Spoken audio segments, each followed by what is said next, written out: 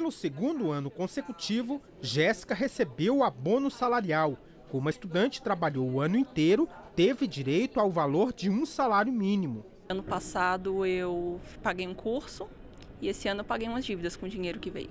Mas nem todos sacaram o abono salarial ano base 2016. E agora eles têm até o dia 29 deste mês para procurar uma agência bancária e retirar o dinheiro. São mais de 2 milhões de trabalhadores que ainda não resgataram o recurso, que chega a 1 bilhão e 750 milhões de reais. O abono salarial PIS-PASEP é destinado aos trabalhadores que, em 2016, trabalhou por pelo menos 30 dias, recebeu em média até dois salários mínimos e está cadastrado no PIS-PASEP há pelo menos cinco anos. Mas é bom os atrasados se apressarem, já que não existe previsão de que o prazo seja prorrogado. O benefício do ano base 2016 começou a ser pago em 27 de julho do ano passado. Desde então, mais de 22 milhões de trabalhadores sacaram o dinheiro, o que representa cerca de 90% do total.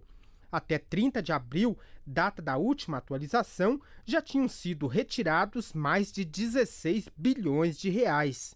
O valor a receber é proporcional ao tempo em que a pessoa trabalhou em 2016 e varia de 80 a 954 reais.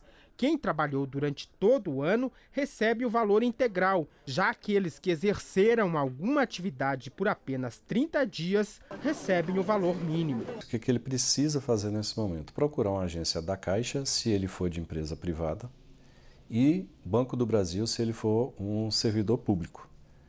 É, de imediato fazer uma consulta para saber se esse benefício está disponível para ele ou ainda se esse benefício não foi disponibilizado na conta dele, que esse é o primeiro procedimento é, no decorrer do calendário.